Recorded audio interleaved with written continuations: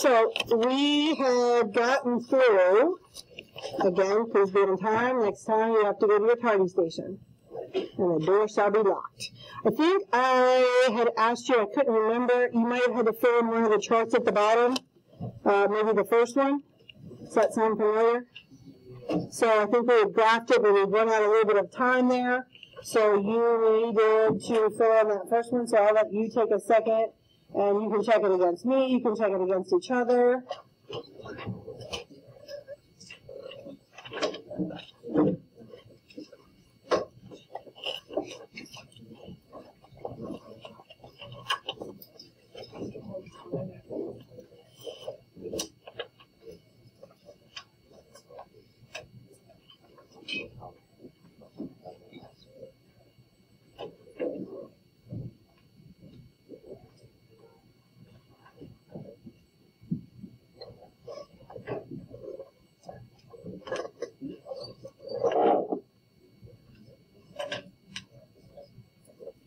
Remember, earbuds out, cell phones on a sticky note on your desk if they're on your body. If you're tempted to use your smart watch, you should put that there as well.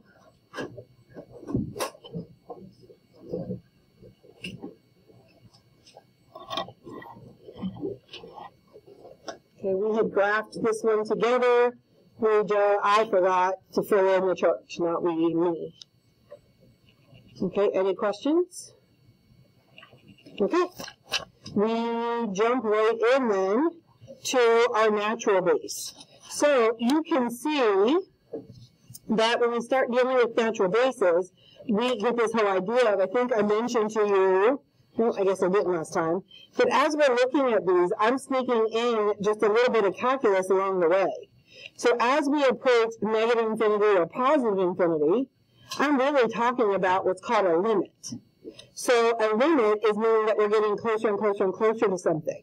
So here, as I'm talking about a limit, L-I-M-I-T, it's one of the calculus topics, calculus A, that we talk about. You are getting closer and closer. You did this last year. So really, I was talking about calculus A last year. The only thing that changes when we start talking about a limit is I change the notation. Instead of just saying x approaches negative infinity or x approaches positive infinity, I change that notation and I just write L-I-M, and I say I get closer and closer and closer and closer to it. Okay, I always think of a limit. You're sort of approaching how, like, in this case, you're approaching an asymptote or approaching positive infinity. Like, what are you, you could reach it, like you could actually touch it, or you could just get closer and closer to it. Okay, having older siblings, I think they often approached my limit often. Okay, if you take car rides or trips with your family, or even just sometimes it could be like a ride to the ride to school in the morning, or um, you know taking the bus at times. Sometimes it sort of pushes your limits. But I remember, I don't know if fondly is the right word, but my brother perhaps pushing my limits in the car.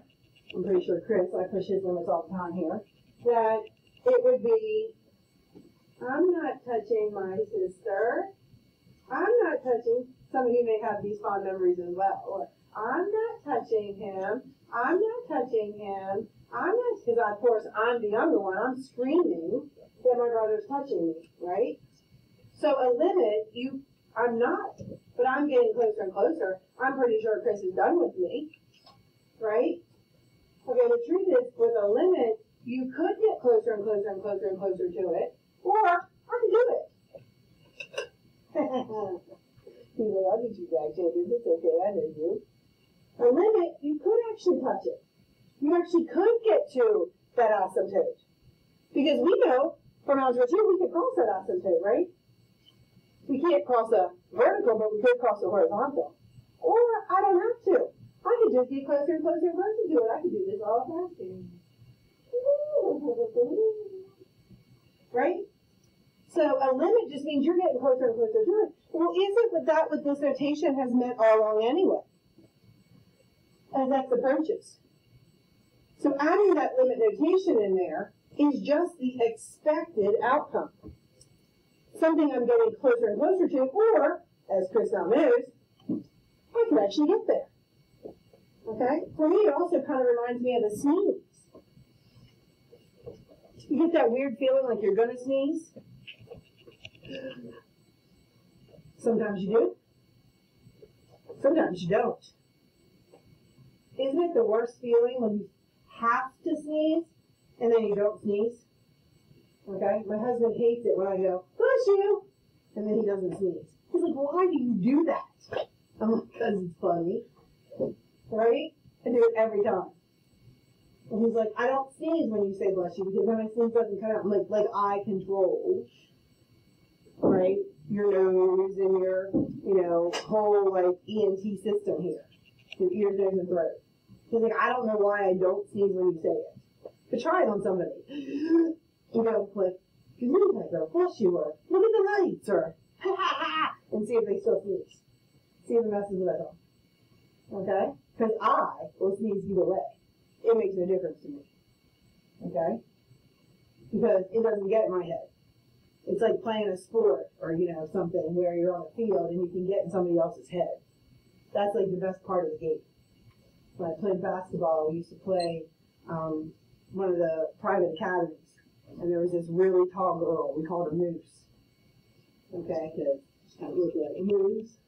And I don't know what, I never said it to her face because I'm pretty sure she would kill me. And she, we were playing basketball and she said, Give me the ball! Okay, here you go. And that's exactly what it looked like. Okay, and my coach was like, What are you doing, Jinx? And I was like, Well, she told me to give her the ball, so I gave her the ball. I mean, what would you do if a moose told you to give her the ball? And my coach was like, Sit on the bench! And I was like, Okay. Well, you told me to sit on the bench, I sat on the bench. The moose told me to give her the ball, I gave her the ball. I don't see anything wrong with this picture. Right? And then after I sat on the bench for a little while, she's like, okay, are you going to listen to the moose or are you going to play basketball? And I was like, I don't know. She's like, sit on the bench. Until I could say, I'm going to play against the moose, okay, then I could play. But if I was going to do what the moose said to do, then I could go back. And, I, if I was not going to do what the moose said to do, I could go back in the game. It took me like a long time. Okay? Because, I mean, the moose had to be like this tall and look like a moose. Okay? I'm pretty sure she when she came at me. Every time I took a shot, she okay, move the ball. It's just easier. Okay? I'm just saying. Okay? The expected behavior was I'm gonna give the moose the ball. Okay? Because I'm not gonna make the shot anyway, because all I see is the moose. Okay? So it's just better off because I had to defend the moose. You know, here I am chasing this moose around. I felt like, you know, a hunter in the woods trying to catch the moose. I don't know what it was. Maybe I was going to feed the moose. Maybe I was going to pet the moose. I'm pretty sure I couldn't go up to the moose and be like, good moose, good moose. I was going to out of the game. So it's easier, like, here's the moose, let's go play. Okay? My coach did not think any of those things were fun at halftime. Just it.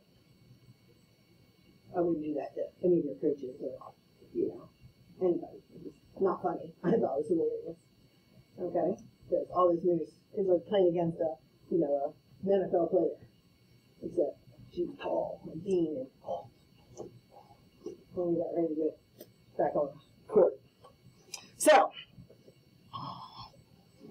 the girl named Zelda. Don't know. She looks like a moose. So, limits. Every single time you do one of these, you're doing a limit. So when we flip this over, and you see the word, the abbreviation for limit, does, oops, sorry, it doesn't freak me out. Because as this function, whatever this is, gets closer and closer to infinity, we get out 2.7182, 2.7183, well, that's not completely true, that's a rounded approximation. Okay, and that's known as the natural base. This 2.718, I won't even say 3, that freaks me out because I know that that's, not, that's just rounded. That's known as E. Kind of like pi is known as 3.14152653589779234 721. Do you even know if I'm telling you the truth anymore? No. Well, this isn't completely true either. Because e is an irrational number, just like pi. Never ends, it never repeats. That's why I said that's not the truth about e. Okay, so e doesn't really have a three there. That's what's freaking me out. E is really, here's part of E. I have pi there like 10,000 digits. Not as many of E. But there's really not a three there. That's what, when I'm looking at it rounded, I'm like, yeah, this isn't right because I do know more digits of E. And you should as well. So you might want to fix E there because it's 2.7 18281828. There's really not a 3 there at all, is there? So on your paper, you might want to write 2.7 one eight, two eight, one eight, two eight, because you can know at least that many, because it looks like it repeats, agreed? Two point seven, one eight, two eight, one eight, two eight. I said that like three times, you have to know that one now. Two point seven, one eight, two eight, one eight, two eight. Well, if I didn't know it was irrational and that means it doesn't repeat and it doesn't end, I would have said it was 2.7182818281828182818 forever, right? But we know that's not true. It just said it's like pi. It doesn't repeat and it doesn't end. So 2.718281828 45 904 523 536 02 8747 13 52 66 24 9775 7247 0936 999 5959 574 966 967 6. As you sit right here, can I say it? Anybody know the next number? Good guess. No idea. It's like pop. But I know some of it. 2.7, 1828, Okay, I should at least be able to know that much of it. But I know that it's not three. That's the part that was freaking me out when I saw it up there. Okay, so why is it three? 2.718, because it rounded it. It rounded the 8 to a 3. Okay, it's like pi. And then that's just the first line. The, the whole next line is all over the place. It does not repeat. It does not end. Even that poster doesn't end. That's just so many digits of it. Less than 10,000. Okay? Our calculators, if you have yours with you, you're welcome to grab it. It has E on it. We don't have to type in this limit statement. This is a calculus limit.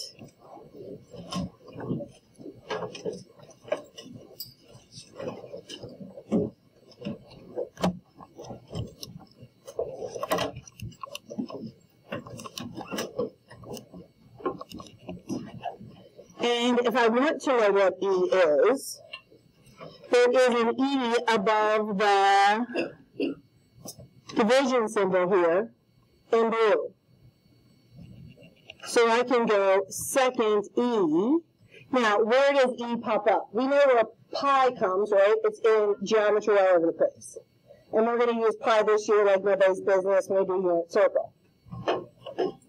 So pi, we've seen the use of, like it's the circumference divided by the diameter, and poof, out pops pi.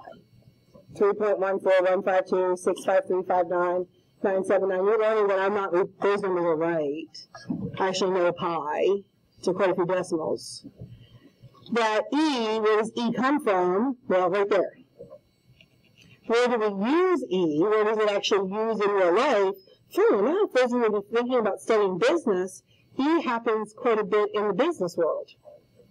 Okay, E is often used with stocks and bonds and with money. E is a um, accounting number that happens more often than you would ever imagine. Whereas pi is more of the you know, mathematical circles number. Pi is related to circles. Okay, E is related to money. Who doesn't like money? Right? So if I hit E and then hit enter, well, there it is. 2.71828, 18, two, eight, because the next one's four, five. And the four wouldn't round it up. But I do know that it's four, five. I just had you write that down. And I can prove that to you because I can simply take the two off. Oh, there's not a four there. Why doesn't it say four, five? Why does it say five instead of four? If it's four, five. It rounds up. Okay, but of course I can prove that to you because I can take the 7 off. Oh, and there's the 4, but there's no 5 because it rounded up. There's more digits in your calculator than just what you see on your screen. It holds, you know, probably 40, 50 digits when you hit the E button. Okay? But it would be better to use the E button than type in 2.7183. We're never going to type that number in our calculator, we're going to type E. So therefore, we would need our calculators. So it's time to get your hands on some calculators. Today you're okay just following with us.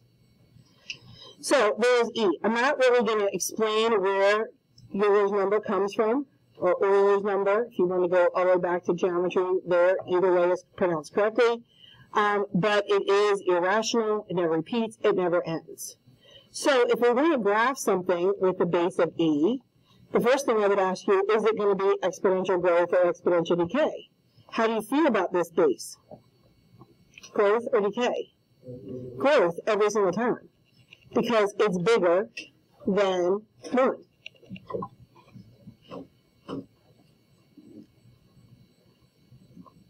So that makes me, before I even graph it, go down here and look at number 15, and I feel kind of silly. Because it says, tell whether the function is an example of exponential growth or exponential decay. Well, I think we can do that in one clean swoop. E, E, E, E, E, E. How do you feel about all of those? They're all growth. You know, we could go back and talk about horizontal stretch, uh, vertical compression. We could talk about other things. But just because it has an E in it, it's automatically growth. So that's about the silliest question down here I could ask you. Easy enough? So we go back up here and we're going to graph it. So I'm going back to my chart that I would use for both of them. I'm still using this idea of 0, 1, 1 the base, 2 the base squared, negative 1 over 1 over the base, negative 2, 1 over the base squared. And I mean, sometimes I can get 5 points, sometimes I can only get 2 or 3 points on my graph, because even when we graph the other ones, like, you know, over 2 up 9 was off my graph. And without a calculator, I'm not going to be great at these. With a calculator, I can type anything in. So if I take the first couple and I put in zero, well, e to the zero is going to be what? One. Anything to the zero is one, including e. So we're going to still be at zero comma one. Wait, we didn't move this. So where's my asymptote going to be? Well, the zero. And there's no chart or anything here, so I would expect you to label it on your graph. If there's a chart, then I we don't have to it because I'm going to get that answer someplace. Okay, I'm going to go with the positives over 1 up 2.718281828 for 5. Right? That's what I just said you should be required to know. Hint, hint, hint, hint, hint, hint. I've now said that twice. If you don't know me very well, I'm telling you that that's probably going to be an assessment question. So over 1 up 2.71828182845. Now said that three times without my calculator. Okay, the next one I'm not going to memorize because I have no idea what 2.7 or 2.7183 squared is. I could estimate it if I said 2.7 is almost 3, Well, 3 squared is about 9. Okay, if I really want to know bad enough, I can take e and I can square it. But I'm not going to memorize this number. If I'm not going to memorize it, then you're probably not going to have to have it memorized. So it is 9. Actually, it's just a little bit more than 9. Go ahead. Oh, I do pi. Good call. Oh, it's a little bit less than 9.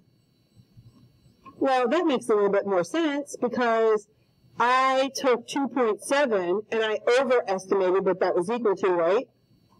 So 9 should be bigger than what it actually is. Agreed? Okay. So 7 is a little bit more. Well, the good news is that if I go over 2, up 3, 4, 5, 6, 7, and a little bit is off my chart anyway, I could go that point anyway. If I go negative 1, I'm doing 1 over e. Well, that's like 1 over 2 or 1 over 3, so it's someplace between a half and a third. Agreed? So I'm not going to break out a ruler on you, but there it is. If I want to know bad enough, I could say that that's 1 divided by e. Well, that's 0.36. I said it was someplace, you know, around a half, a third. It's a little bit bigger than a third. The truth is, these three points give me enough to draw it. 1 over 1 over e squared is going to be 1 over 7 point whatever we got. Again, that would be a total math calculation on the calculator not something I'm going to memorize. 0.135. Okay, it's smaller. It's getting smaller and smaller and smaller and smaller. And I can name that point. Negative 2, comma, 1 over e squared. And I could name all of the things that go with it, like x approaches negative infinity, x approaches positive infinity. We're good. no chart here for me to fill all that out.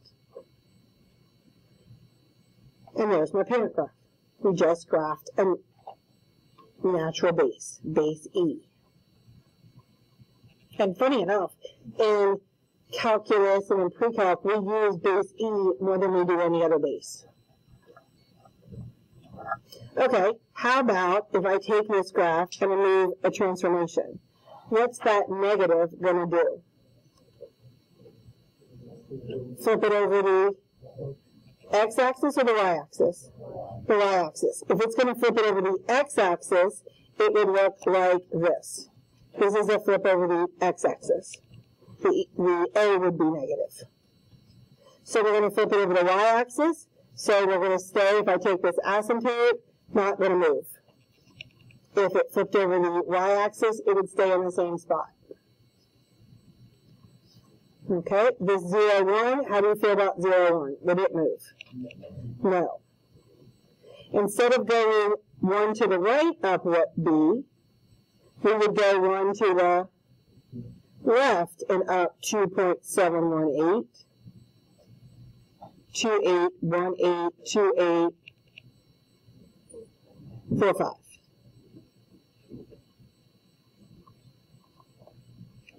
And again, we would go over 2 to the left, and we just figured that out. That was 7 something.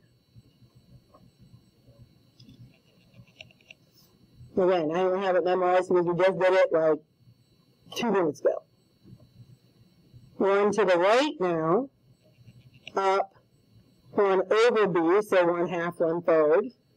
I think that was 0.36, so we just typed it in. It's still on my calculator. Yep, 0.367 0.368, and then 1 over b squared, which I don't even remember because I will never know that decimal. 0.135 if I look back at my calculator. Something I don't have memorized.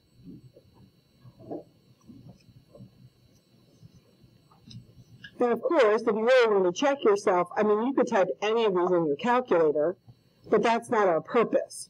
I mean, if you were home and you really wanted to check something, right, we could go to y equals,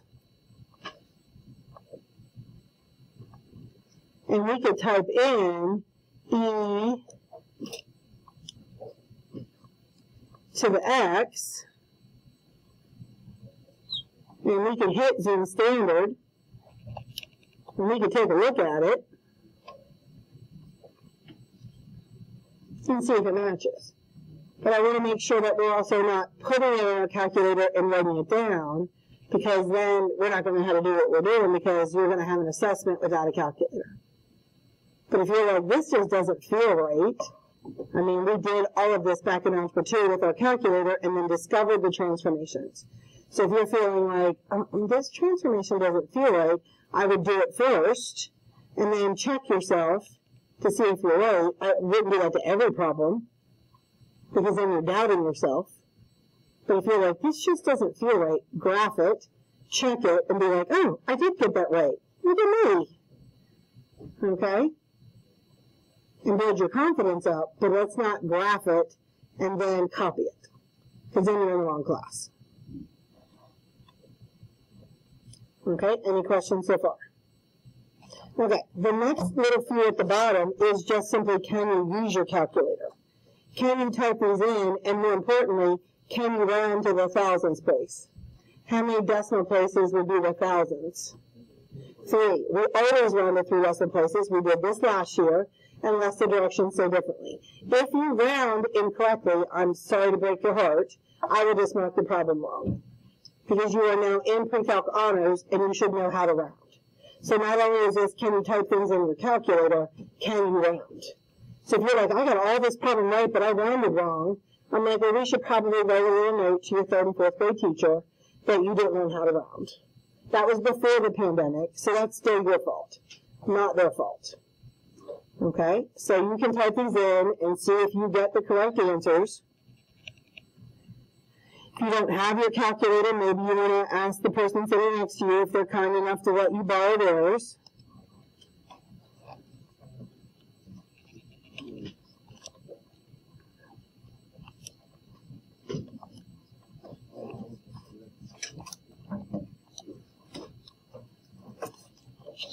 Um, you will have Desmos on your computers.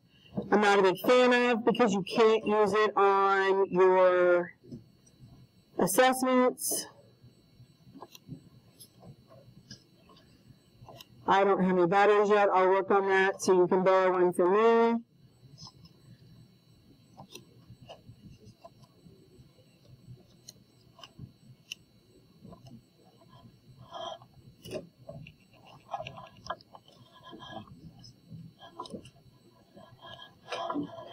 At least they are, there they are typed in. You can see if you can round correctly. Go ahead.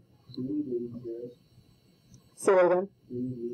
Absolutely not. If there's a zero before that decimal place, like here, I prefer you didn't write it.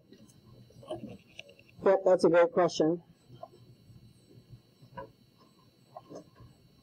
I mean, I won't mark it wrong if, it, if it's there. I might write why, but I won't mark it wrong.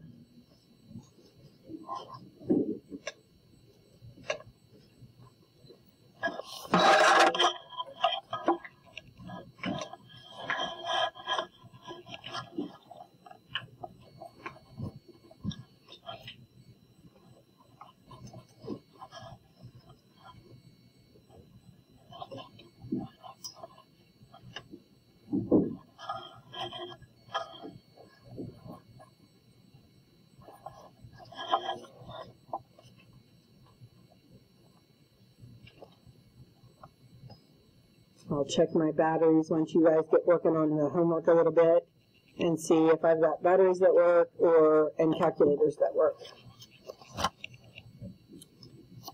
Do we agree? So his question was, do I need a zero out in front of this? And my answer is no. I actually think they're ridiculous. But I need a zero here to hold the tens place. That's not what he was asking.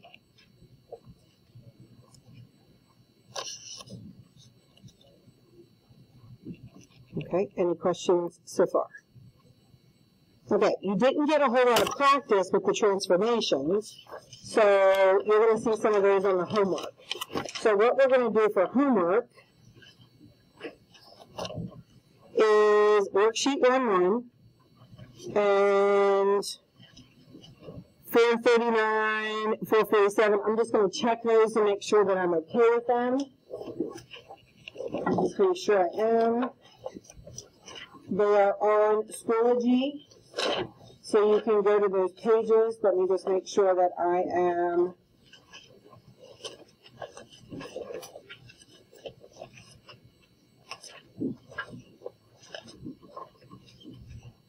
I am not. So no 439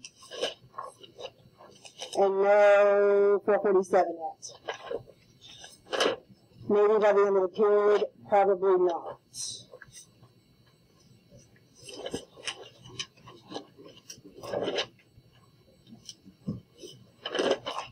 We have to do some models first, some word problems. So right now, just the worksheet. So just worksheet 1-1. I'm going to let you work on that for just a tad. And I will check out some of my calculators, even though I don't think you really need them. You may check your answers with each other.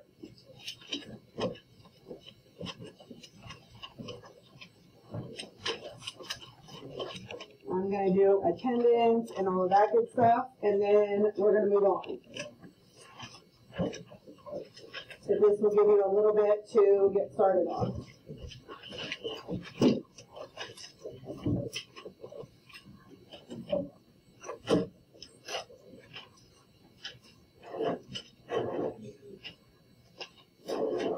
Did I, it looks like I did pass around the hole punch last time.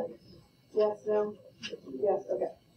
I can't remember which classes I gave you. And just for you, I will punch these.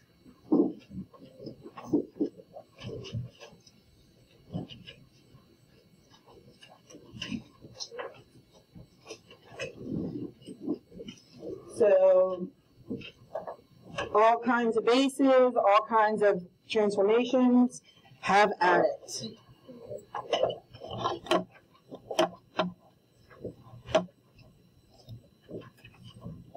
You're more than welcome to work with the person sitting next to you. So all of this is calculator. So that way um, you can have your calculator to do this. Um, when you are home, if you don't have your calculator, there's a calculator you can get on your phone. You can use Desmos on your laptop if you need to. You can come see me after school, and you can use one of my calculators. Um, you saw that they're in the top right-hand drawer, so if you borrowed one, you can put it back there. Um, a great SAT formula. Funny enough, I just heard somebody say SAT. This is one that they don't give you, but you need every single time on your SAT for exponential growth and decay. Um, they talk about growth. Uh, I've, every single essay, I've taken every SAT test, I think, except for maybe the last two. Um, and this formula is on there every single time, and they don't give it to you. So if we're talking about growth and decay, if we have a growth equation, A is always our initial amount. Same. These two formulas are exactly the same for me. As I look at them, for me, I think of them as y equals a 1 plus or minus r to the t. So I'm only really memorizing one formula. If it's growth, we increase by the rate, and we decrease if it's decaying because we want it to go down. So A is the initial amount that you have. We often do this in science, like however many cells you begin with. Okay, we're going to talk quite a bit about money, so if I'm going to put money in the bank, how much money am I putting in? Am I putting in $100? Am I putting in $5? Am I putting in $1,000? What is that initial amount? Um, the percent of increase, so if we're talking about money, what is my annual percentage rate? Am I getting 3%, 5%? You're not getting anything better than that. Okay, if you've got a credit card, then it's going to be they're charging you 19%. That's ridiculous. Okay, if you have a savings account, you're probably getting 5%. And that would be fantastic. You're probably, that would be like with the Apple Credit Union or, you know, like Navy Credit Union. If you're dealing with a regular bank, it's like 3% would be great. Okay, and T is the time, almost always in years. But whatever this, so if we're getting our percent, then that would be when I said annual percentage rate, annual would imply years. Okay, if I'm getting a daily percentage rate, that would be fantastic. That means I'm looking at my money every day, but then my time would be in days.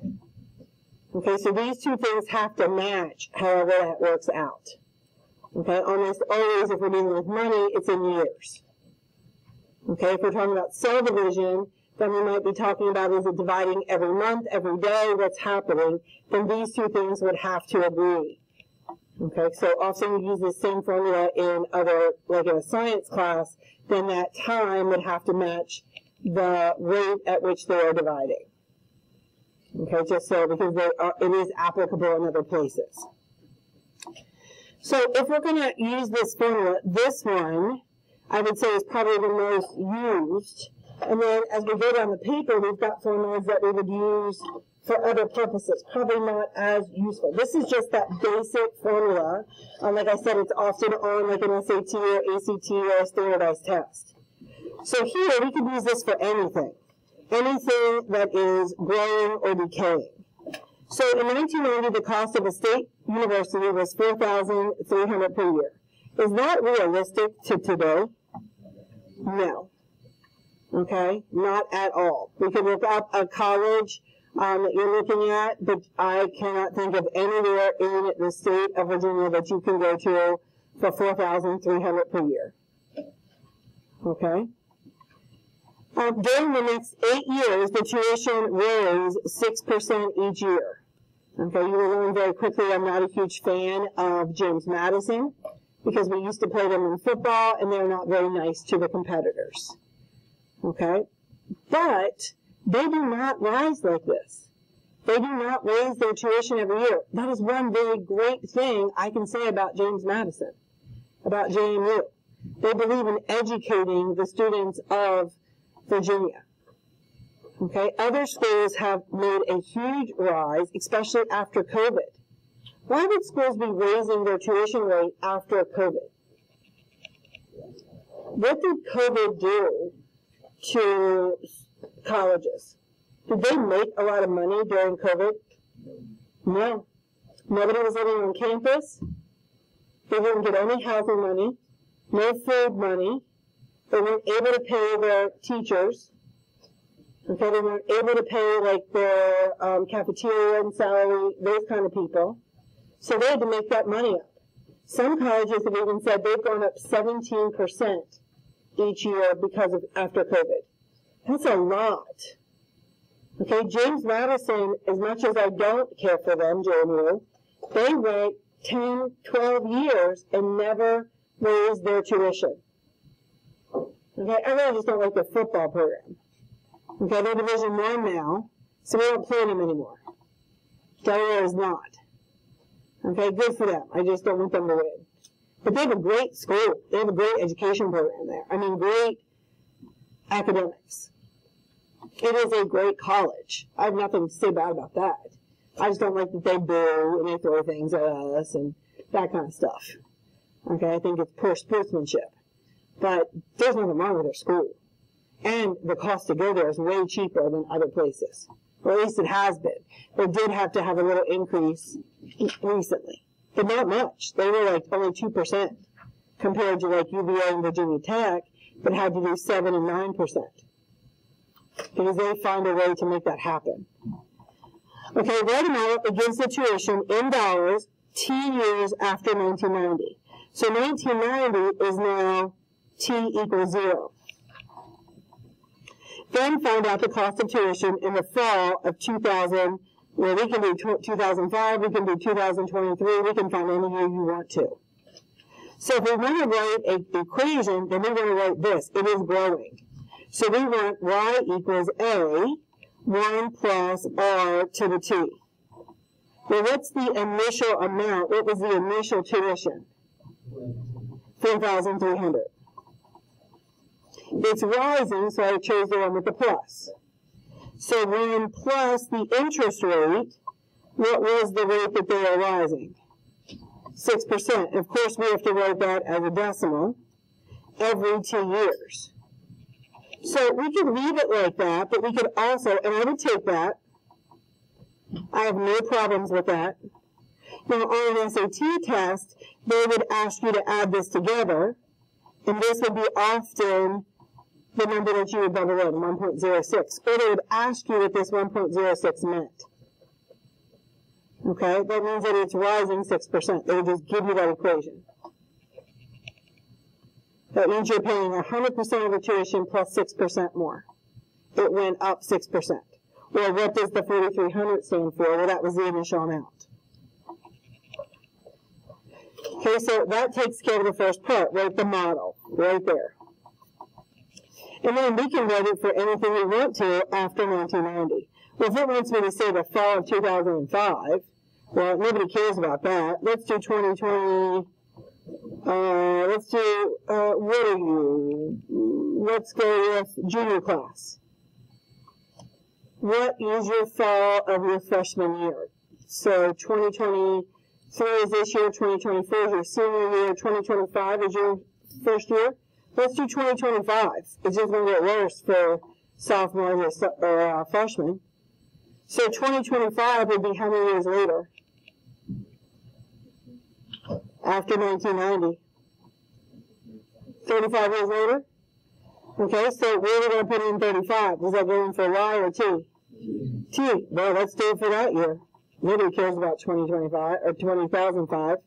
So 4,300 times 1.06 to the 35th.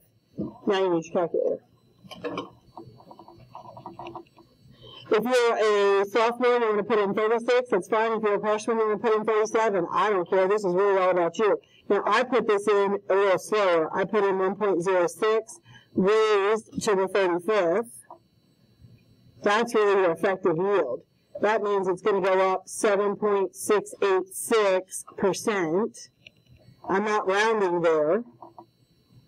And I'm going to multiply by that the initial amount. Wow. It could have started at $4,300, but you are going to pay $33,050.17 per year. And you're looking at what, four years of college? So multiply that times four. And there's what your college is going to cost you. $132,200. And that's about what my stepdaughter paid. Here's her financial loans. She pays about $1,000 a month. Might be a conversation you need to start having with your parents. Oh, and I mean, 33,000 is a little high. And if you go, especially if you go to a public school, she went to Ferrum, and that's about right. It was 20,000 for tuition, and then room and board, and then transportation back and forth, etc. Wasn't that far off. She's probably a little bit under that. She probably financed about 100,000. Just so you know. Might want to stay with a state institution makes Nova look really good for a year or so. Or George Mason, where you could live at home and only pay for tuition. Just saying, it's not a bad choice. Okay. A diamond ring, anytime you purchase jewelry, it does not, real jewelry by the way, not custom jewelry, um, it will not lose its value. You could trade it in a more, like a higher jewelry, and it will always have exactly what it was worth, if not more. Okay, so like family heirlooms, that kind of thing, never lose their value. Okay, so if you buy a diamond ring worth $500, it's always worth $500.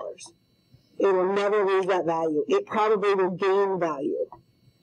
Okay, just so you know. I mean, you could take it to a pawn shop, you're going to get less for it, but if you trade it in on something that's worth more, you'll get $500, you might even get $1,000 for it. Okay, pawn shop's probably going to give you $300 for it, because they're going to turn around and try to sell it for 500 because they know it's worth 500. Totally different situation now. Okay, the value of the ring increased by 8% each year. And that's probably pretty fair. What was the value of the ring today? So again, we're doing a growth equation. So it was five hundred dollars. It's increasing by eight percent, so I know I'm gonna add 0.08, so by now I know that that's eight percent. And there's my equation. Um, how many years are we holding on to this ring? 20, so we're going to put in 20 there. Now, if you type something in wrong, that's your fault. I will tell you, if you write that equation and then you give me the wrong answer, I'll be able to throw you a point or two. If you don't show me any work and you just write down a magic answer, and you're, I got nothing to grade but your final answer, well, then it's right or wrong. But if you show me some work, like the equation, okay, they know what they were doing, then I can give you a point, maybe even two.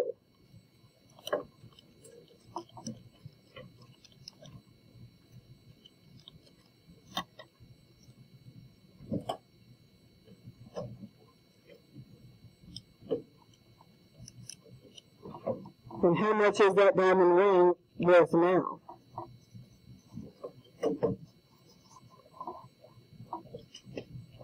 I mean, it's not worth a million dollars, but you start off with a five hundred dollar ring, and it's gained value. Would you agree? It might have been, you know, your parents, your grandparents, somebody's diamond ring. It did not, it will never lose value. A ruby, an emerald, a sapphire, anything is an actual gemstone will never lose value. Like a costume, a fake, it's probably worth the same 50 cents you paid for it.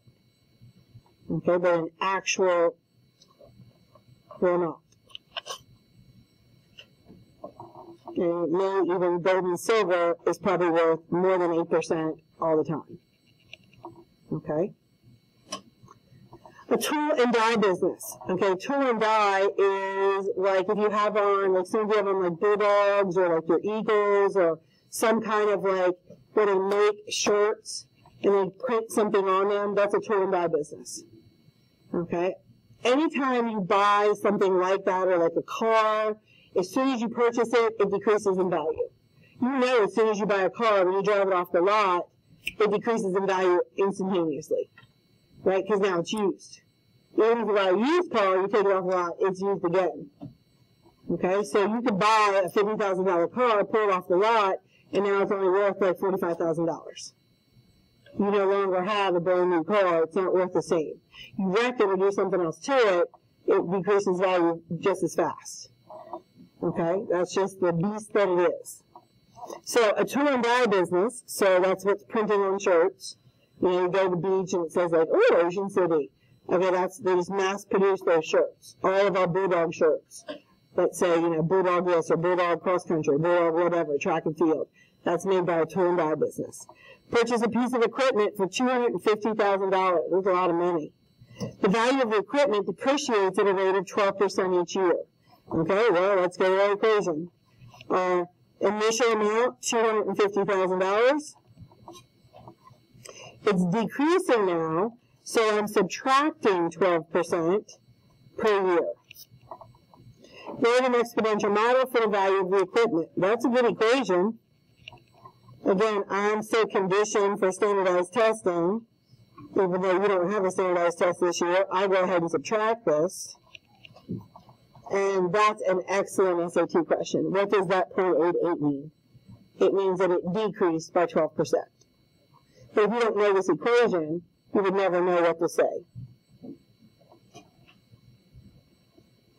what is the value of the equipment after five years? You've been in business for five years. You're barely making a profit. Well, you're putting in five for T.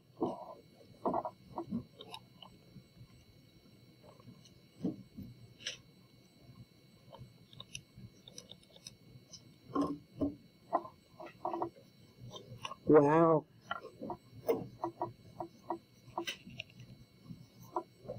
Make sure you round into the pennies. Of course, when we're rounding, always three decimals, unless we're talking money.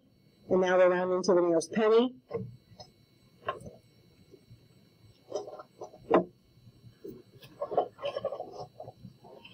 Five years, that equipment's almost half. Not quite half, but pretty close. If you're not making a profit in five years, that business is in trouble. Would you agree? Sometimes I wonder why, like when you buy a sweatshirt, you know, it says Kentucky or Delaware or something on it. I'm like, why is this thing 30 bucks? It's just a sweatshirt or a t-shirt. Like, I mean, you know it took them like, it cost them $5 to make this sweatshirt. But I had to pay like 12, you know, 12.50 for it or something. But because they gotta make money, because that equipment is what's expensive, not that t-shirt or putting that logo on it. Because that company's still making money. You can get cheaper stuff from a company that's been in business for a long time because they probably are starting to own that equipment because they've made so much stuff. A newer company is going to be more expensive because they're still paying for that equipment. But they might make fancier stuff because they've got newer equipment, newer technology. Just something to think about. You can get cooler stuff from a newer company, but it might cost you more because they're paying for that equipment. Because in five years, they can't sell that equipment because, it, I mean, they can, but they're going to make very little profit on it. Okay, and some of that loss, you know, you can pay some of that, you can claim some of that on your taxes by being a business. There's I mean, there are things that help you, but you still losing money, right?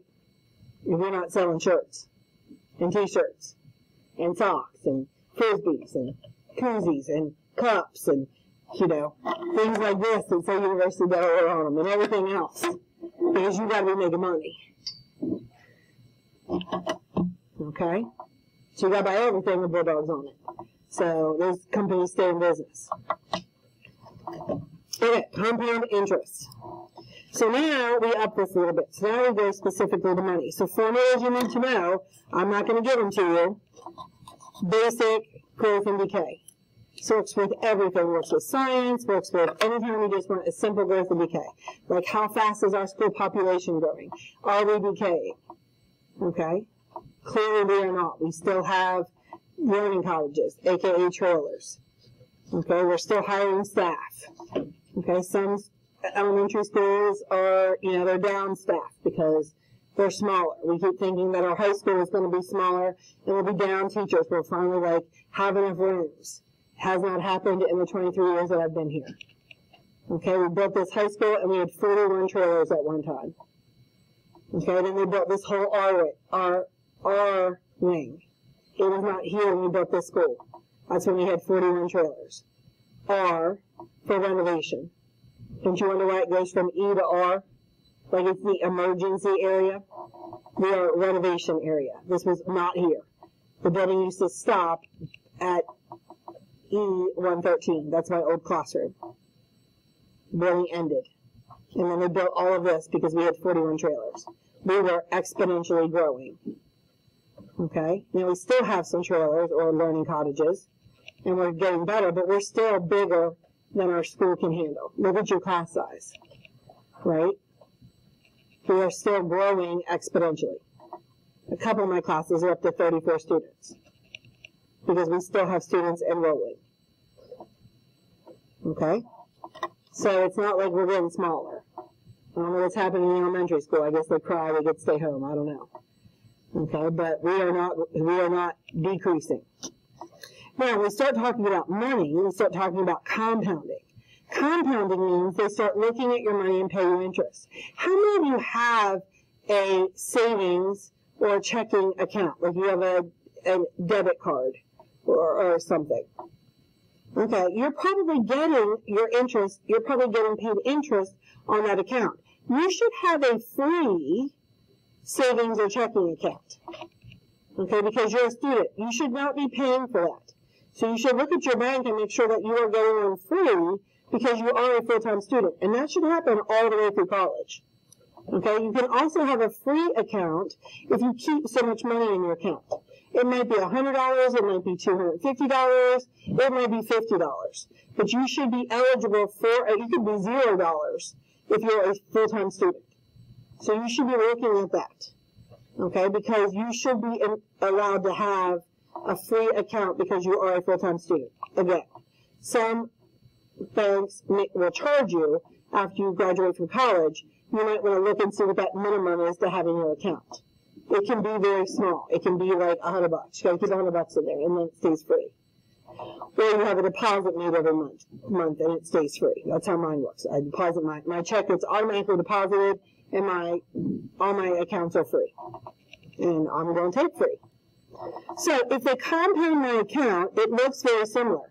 As a matter of fact, if I take this N out, that looks exactly the same. P is my initial amount. They're going to compound it, so they're going to pay me money, so it's only going to increase. Free money, not completely true, but it is money that's getting added to my account. One plus the interest rate, that part stays the same.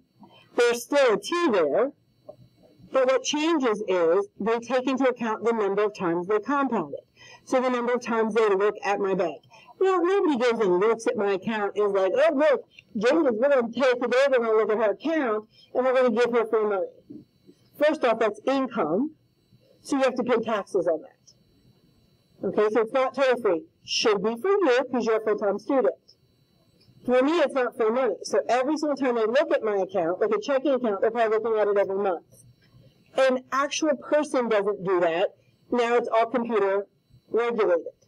So the number of times that they look at it, they divide the interest rate by that. So they're not going to give me 4% every single month.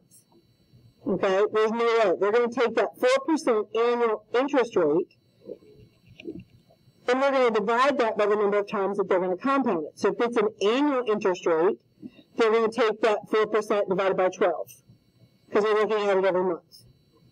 And then they're going to multiply that number of times they compound it times the years. Okay, if they look at it every, they look at it twice a year, then they're going to take that annual interest rate, 4% divided by 2. Or by, yeah, so they give me 2% at the beginning of the year and 2% the second half of the year. So they still only give me a total of 4%. I can't give them to give me 4% every month because then they would really be getting me what, 48%?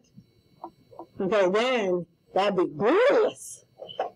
Okay, then I'm gonna put all my money in that account because there's nobody in their right mind gonna give me 48% interest rate. Because then we're all gonna get every single penny we can find on the ground and we're gonna put it in that account. Because by the end of this year, folks, we will be making some money. Right? So they're going to take that and divide. So they could take this money and they could look at it at different times. They could look at it annually, means once a year. They could look at it quarterly. What do you think that's going to be? Four times a year. They can look at it monthly, which means once a month, and they can look at it daily. Which one of these do you think would give us the most money? Annually, quarterly, monthly, or every day? Guess. I mean, you're really just kind of guessing. You probably don't know a whole lot about money. Daily.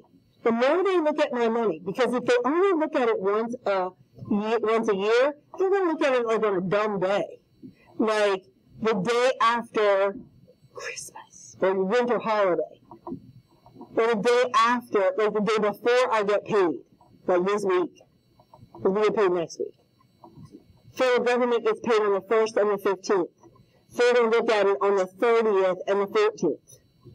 They still do that anyway, if they do it monthly. They also look at it like on the 13th. Because they don't want to give you money. Right? It's, it's not like it's a school where it has to benefit you. I mean, they're FDIC insured, which means your money's insured, but they don't want to actually give you money. Think about it. Okay, so do it on like the 2nd or the 16th. Okay, we'll run this next class. Bring your calculators. Only thing you have for homework is your worksheet. If you borrowed a calculator, put it back, please. And you're right. The more they look at my